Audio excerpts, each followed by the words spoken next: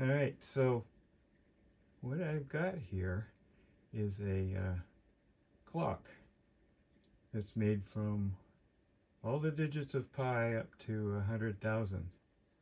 All right, and basically it goes through all the digits of all those digits um, and finds a sequence of numbers that's the current time. Right, it is 7:36 right now. Okay, in 30 seconds. All right, and um, when it gets to 737 it'll scroll. But what's interesting all right? So you can see I scrolled all the way to the top. We weren't that too far into pi but you can see 3.415.92653 etc etc etc all right? I doubt I don't know maybe there's somebody who's memorized all these. It's certainly not me.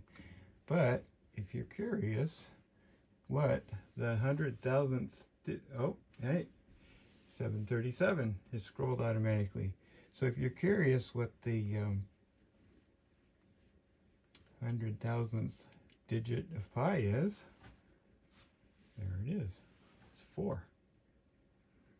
Um, yeah, well anyway, um, I thought that was fun. All I needed was about 86,000 digits, so there's a time in here that, that scrolls pretty deep into here. Most of the time it's close to the beginning of pi. Right? Uh, you saw it go by. See I'm here. I'm only a few pages in. I think this is fairly deep.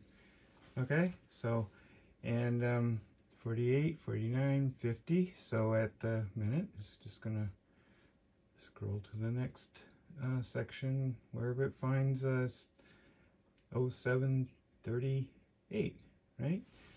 Looks like we were a little bit closer to pi, to the beginning of pi. Yeah, there it is. So, uh, I thought it was kind of fun. I, it's kind of mesmerizing, actually, if you ask me. Just uh, sitting there calmly ticking out the seconds.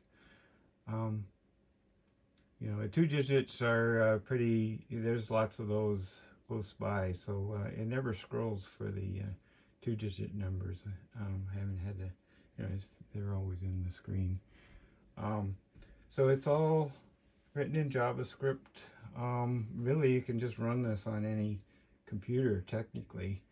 Um, obviously, I made it on a Raspberry Pi, okay? Um, you can see in the back here, okay, there's some electronics. There's a Raspberry Pi 5. I picked the 5 especially is good because um, it's uh, the real-time clock is built in.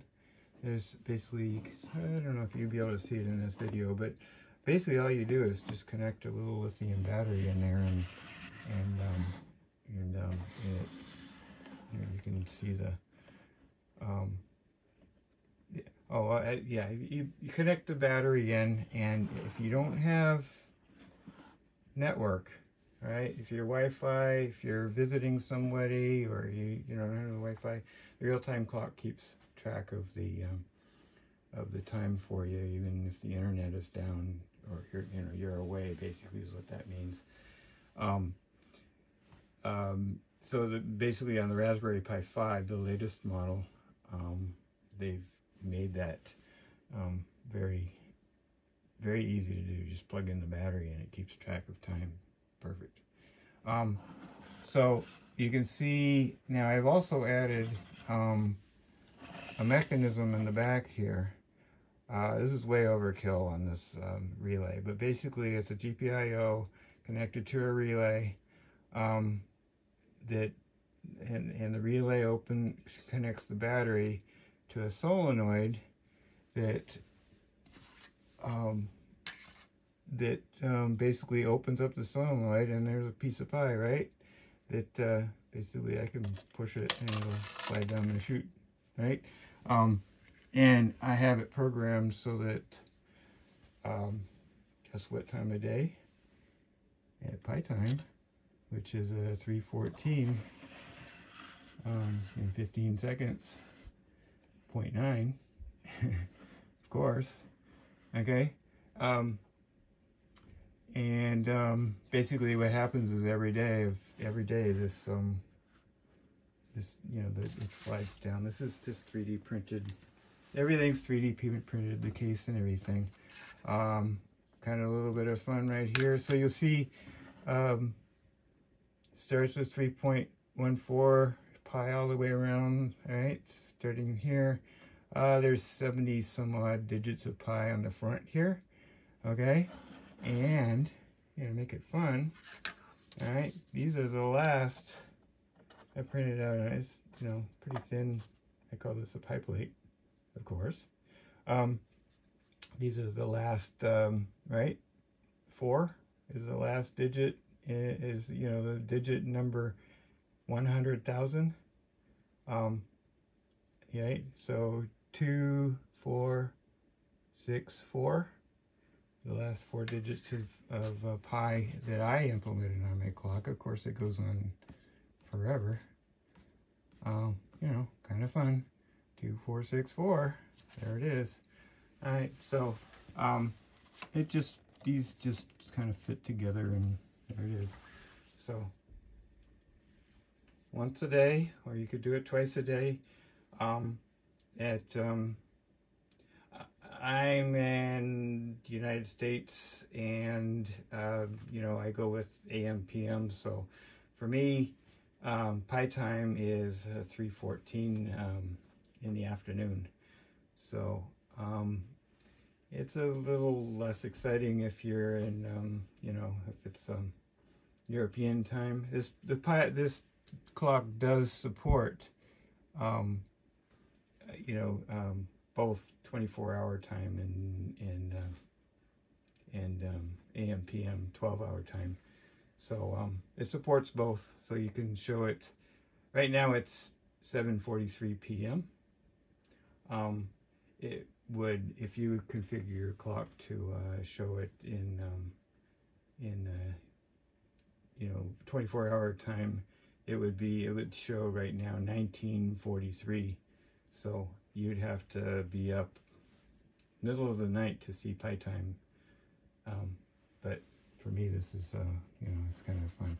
And um, you know I'll have this what I do is load this in the morning before I head off to work and then come back. And it's kind of fun. You know this after this evening I arrived and the uh, and the piece of pie was sitting here in the tray. And, um, it, this automatically happens, but um, I could just, right, uh, uh, anyway, it slides down. Um, so, you know, kind of fun.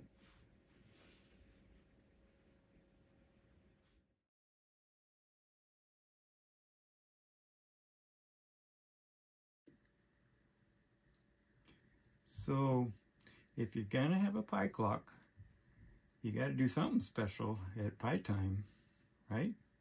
When's pie time? 314 and 15 seconds, of course. All right. Um, yeah. So what's this pie clock do? It delivers pie. Mmm, yummy. 3D PLA printed pie. You put it in the uh, slot right there, in the uh, there, and then um, just wait for pi time.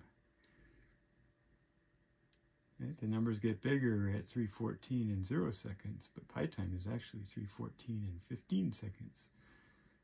Here we go.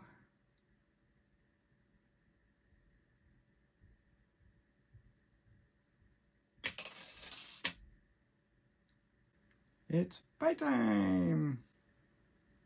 How cool is that?